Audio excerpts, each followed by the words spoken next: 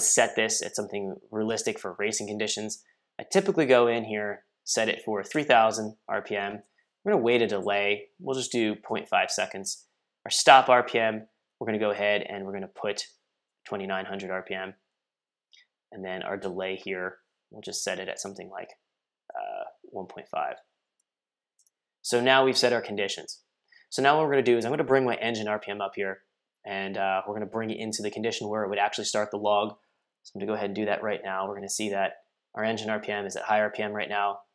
You can see here at 5,000. And we're going to leave it there for a second and just let it capture this data on the onboard logger here. And that should be sufficient enough time. I'm bring my engine RPM down here to shut the log off. So now we've came down below 2900. We'll wait a second here. And now we're going to be ready to go ahead and actually extract the data log out. So what we're going to do here, we're going to go into utilities, we're to go get log data. And it's going to go ahead and retrieve the log for us now. We're going to be patient while it downloads it. It's going to ask us if we want to go ahead and clear the memory out. I usually say yes because I'm going to save the data log right out of the Motec. Whenever I pull the data log out, I'll say yes.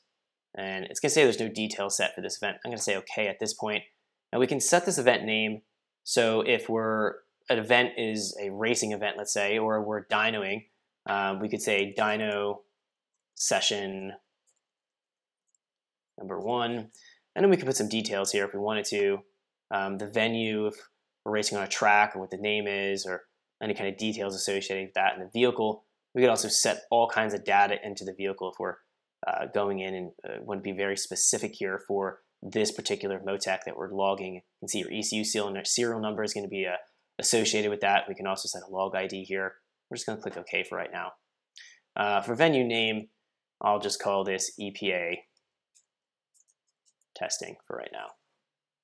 And we'll say the vehicle ID, we'll just say simulator.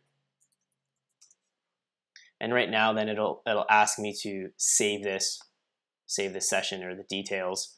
Um, I'll just say uh, onboard test one. And now that log has been saved. So I've saved the onboard data log, and if I want to go and open it, I'm going to be using the log software to do that. So anytime